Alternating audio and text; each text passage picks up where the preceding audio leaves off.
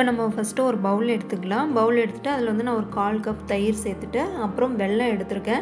இந்த வெல்லம் பார்த்திங்கன்னா ஒரு பவுல் வந்து நான் மைதா மாவு எடுத்திருக்கேன். அதனால் முக்கால் கப் வந்து கருப்பட்டி வெல்லம்னு சொல்லலாம். இதை வந்து பனவெல்லம் அப்படின்னு சொல்லுவாங்க. நான் பனவெல்லம் வந்து முக்கால் கப் எடுத்திருக்கேன். இப்போ அந்த பனவெல்லத்தோடு நம்ம என்ன சேர்த்துக்கலாம் அப்படின்னா கொஞ்சமாக வந்து நெய் சேர்த்துக்கிறேன். நான் வந்து ஒரு ரெண்டு ஸ்பூன் நெய் வந்து சேர்த்துருக்கேன். இங்கே வந்து நீங்கள் பட்டரும் சேர்த்துக்கலாம். ஆனால் நான் வந்து நெய் தான் சேர்த்துருக்கேன். இதை சேர்த்துட்டு நம்ம என்ன பண்ணலாம்னா நல்லா மிக்ஸ் பண்ணி விட்டுடலாம். நல்லா மிக்ஸ் பண்ணி விட்டுக்கோங்க. இது பார்த்திங்கன்னா நானே கொஞ்சம் வெல்லம் வந்து என்ன எடுக்குன்னா கொஞ்சம் சின்ன சின்னதாக இருக்குது அதாவது நல்லா நைஸாக ஆகணும். இந்த மாதிரி நல்லா நைஸாக வெள்ளம்லாம் கரையிற அளவுக்கு நல்லா கரைச்சிக்கணும். நீங்கள் வந்து நல்லா பொடி பண்ணியே வெல்லம் சேர்த்துக்கோங்க. இல்லைன்னா கரையிறது ரொம்ப கஷ்டமாக இருக்கும். நீங்கள் வந்து மண்டை வெள்ளம் அந்த மாதிரியும் சேர்த்துக்கலாம். நான் வந்து பனை வெள்ளம் சேர்த்துருக்கேன். இப்போ இது மாதிரி நல்லா மிக்ஸ் பண்ணிவிட்டு இப்போ பார்த்திங்கன்னா ஒரு பவுல் நான் ஆல்ரெடி சொன்னேன் இல்லையா இதில் வந்து முக்கால் பவுல் பவுல் வந்து நான் வந்து வெள்ளம் எடுத்திருக்கேன். இதில் வந்து ஒரு பவுல் வந்து மைதா மாவு. எடுத்துகிட்டு இதோடு நம்ம இப்போ சேர்த்துடலாம். சேர்த்துட்டு இந்த மைதா மாவோடையே நம்ம வந்து ஒரு அரை டீஸ்பூன் வந்து சோடா உப்பு அப்புறம் ஒரு அரை டீஸ்பூன் வந்து பேக்கிங் பவுடர் இது இதோடு சேர்த்துற போகிறோம் சேர்த்துட்டு நம்ம இது வந்து நல்லா மிக்ஸ் பண்ணி விட்டுடலாம் இப்போ இதோட வந்து என்ன பண்ணுறோம் அப்படின்னா கொஞ்சமாக ஆயில் சேர்த்துக்கிறோம். இது வந்து குக்கிங் ஆயில் தான். இது வந்து ஒரு நாலு டீஸ்பூன் வரும். அந்த அளவுக்கு ஆயில் சேர்த்துட்டு நல்லா மிக்ஸ் பண்ணி விட்டுடலாம் இதை.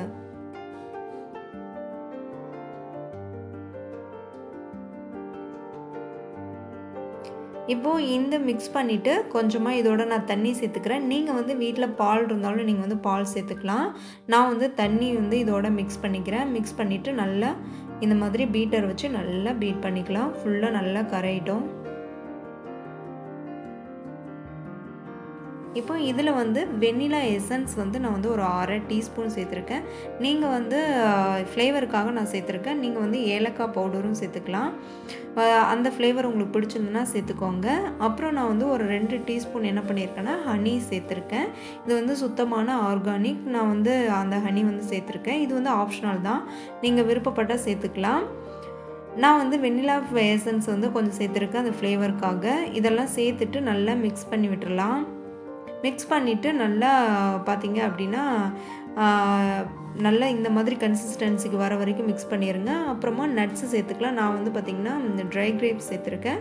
அதுக்கப்புறம் பிளாக் கலர் கிஸ்மிஸ் பழம் அதுவும் ட்ரை கிரேப்ஸ் தான். அது நான் சேர்த்துருக்கேன். அதுக்கப்புறம் கொஞ்சமாக டேட்ஸ் இதெல்லாம் சேர்த்துருக்கேன். இதெல்லாம் சேர்த்துட்டு என்ன பண்ணுறோம் அப்படின்னா ஃபுல்லாக நல்லா மிக்ஸ் பண்ணி விட்டுக்கலாம். நீங்கள் வந்து வேறு ஏதாவது வீட்டில் வந்து நட்ஸ் இருக்குது அப்படின்னா அதையுமே கூட நீங்கள் சேர்த்துக்கலாம். அதுவும் நல்லாயிருக்கும் பாருங்கள் இந்த கன்சிஸ்டன்சிக்கு வர அளவுக்கு நம்ம வந்து இந்த மாவை வந்து நல்லா கரைச்சி விட்டுக்கணும். இப்போ ஒரு ட்ரே எடுத்துக்கலாம். ட்ரேயில் வந்து நான் வந்து நெய் விட்டு அதை வந்து நான் ஃபுல்லாக அப்ளை பண்ணிக்கிட்டேன் நீங்கள் பட்டர் விட்டும் அப்ளை பண்ணிக்கலாம். அதுக்கப்புறம் மேலே வந்து மைதா மாவு வந்து நான் கொஞ்சம் தூவி விட்டுக்கிறேன். நீங்கள் பட்டர் பேப்பர்லாம் போட்டிங்க அப்படின்னா அந்த மைதா மாவு தேவையில்லை. பட்டர் பேப்பர் இல்லா பேப்பர் வந்து இல்லாதனால நான் வந்து இந்த மைதா மாவு போட்டுட்டு ஃபுல்லாக அப்ளை பண்ணிட்டேன். இப்போது அந்த மாவை எடுத்து நம்ம அந்த ட்ரேயில் போட்டுக்கலாம். உங்கள் வீட்டில் சப்போஸ் ட்ரே இல்லை அப்படின்னா அடிகனமான எந்த ஒரு பாத்திரத்தையும் நீங்கள் எடுத்துக்கலாம். இப்போ இது ஃபுல்லாக சமமாகிற அளவுக்கு இந்த மாதிரி செட் ஆகிற மாதிரி தட்டி விட்டுட்டு மேலே இன்னும் கொஞ்சம் நான் ட்ரை கிரேப் சேர்க்குறேன். இது சும்மா டெக்கரேட்காக நீங்கள் உங்கள் விருப்பப்படி நீங்கள் வந்து முந்திரி அந்த மாதிரி எது வேணாலும் நீங்கள் சேர்த்துக்கலாம். இப்போது இது ரெடி ஆகிடுச்சு இப்போ நான் ஆல்ரெடி என்ன பண்ணுறேன் அப்படின்னா இட்லி பாத்திரத்தில் தண்ணி விட்டு அது ஆல்ரெடி லைட்டாக பாருங்கள் இந்த மாதிரி கொதிச்சிட்ருக்கு. இப்போ அடியில் ஒரு ஸ்டாண்டு வச்சிடலாம். வச்சுட்டு நம்ம ரெடி பண்ண இந்த ட்ரேயை அதில் வச்சிடலாம். இந்த அளவுக்கு நல்லா சரி சமமாக இருக்கிற மாதிரி நம்ம வந்து சேர்த்துடலாம். வச்சுட்டு அதுக்கப்புறமா இந்த ட்ரேக்கு மேலே இதை வந்து கரெக்டாக கவர் பண்ணுற மாதிரி ஒரு மூடி போட்டுடலாம். மூடி போட்டுட்டு அதுக்கப்புறம் வந்து இட்லி அப்புறம் வந்து மூடி வச்சிடலாம்.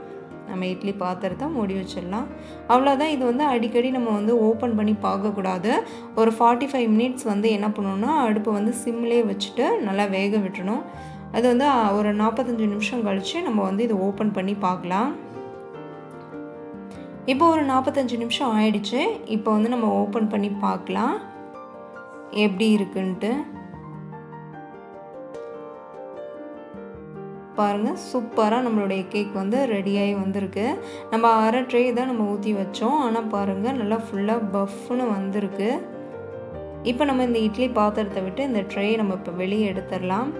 வெளியே எடுத்து உங்களுக்கு நான் இதை காமிக்கிறேன். எப்படி வெந்திருக்கான்ட்டு.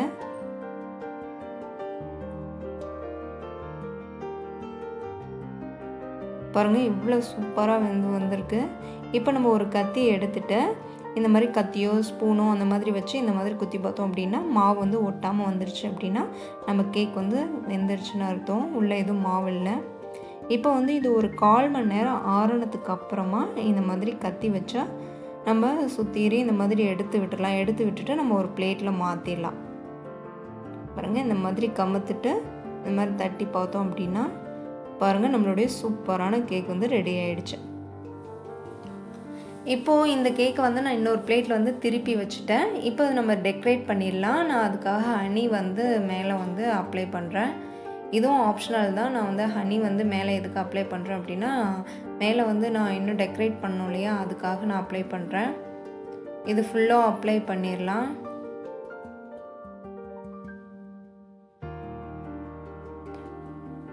அதுக்கப்புறம் இது பார்த்திங்கன்னா சாக்லேட் சிர சிரப்பு. அதாவது இது வந்து கடையிலலாம் கிடைக்குது. எல்லா கடையிலுமே கிடைக்குது. சாக்லேட் ஃப்ளேவர் இது. இதை வந்து நம்ம ஃபுல்லாக இந்த மாதிரி அப்ளை பண்ணிடலாம் கேக்குக்கு மேலே. இது வந்து சில பேர் வந்து சாக்லேட்ஸ் வச்சியும் பண்ணலாம். அதுவும் நல்லாயிருக்கும் நீங்கள் இட்லி பாத்திரத்துலேயே வந்து பார்த்திங்கன்னா சாக்லேட் வந்து ஒரு எப்படி நம்ம கேக் வேக வச்சோமோ அதே மாதிரி பண்ணிடலாம் அதுவும் நல்லாயிருக்கும். இப்போ இது வந்து சாக்லேட் வந்து நான் ஆல்ரெடி வந்து நீங்கள் எந்த மாதிரி சாக்லேட் வேணால் எடுத்துக்கலாம். உங்களுக்கு பிடிச்ச மாதிரி ஃப்ளேவரில். அதை வந்து இந்த மாதிரி சாப் பண்ணி வச்சு மேலே வந்து தூவிடுறேன். இது ஜஸ்ட்டு டெக்கரேஷனுக்காக தான். இப்போ இது ஃபுல்லாக மேலே இந்த மாதிரி சாக்லேட்டை நம்ம தூவி விட்டுட்டு அதுக்கப்புறம் பார்த்திங்கன்னா நான் டேட்ஸ் இந்த மாதிரி கட் பண்ணி வச்சுருக்கேன். நீள நீளமாக இதையும் வந்து நம்ம இந்த மாதிரி வச்சிடலாம் மேலே.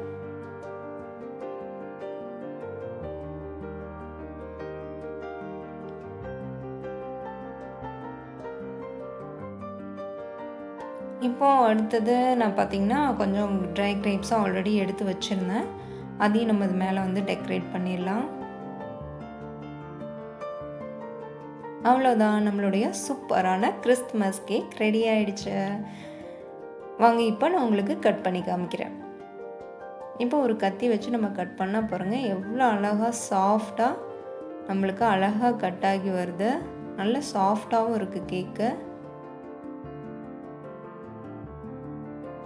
இங்கே பாருங்கள் நல்லா இந்த மாதிரி அமைக்கி பார்த்தோம் அப்படின்னா நல்லா சாஃப்டாக இருக்குது சூப்பரான கிறிஸ்மஸ் கேக் ரெடி ஆயிடுச்சு. எல்லாரும் இதே மாதிரி ட்ரை பண்ணி பாருங்க. எப்படி இருந்ததுன்னு எனக்கு கமெண்ட் பண்ணுங்க. எல்லாருக்கும் கிறிஸ்மஸ் நல்வாழ்த்துக்கள் நம்மளுடைய சேனலுக்கு மறக்காம சப்ஸ்கிரைப் பண்ணிடுங்க.